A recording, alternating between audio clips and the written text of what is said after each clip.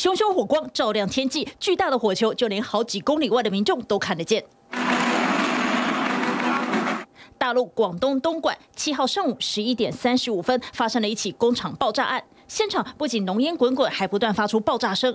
当地消防部门获报后紧急前往灌救。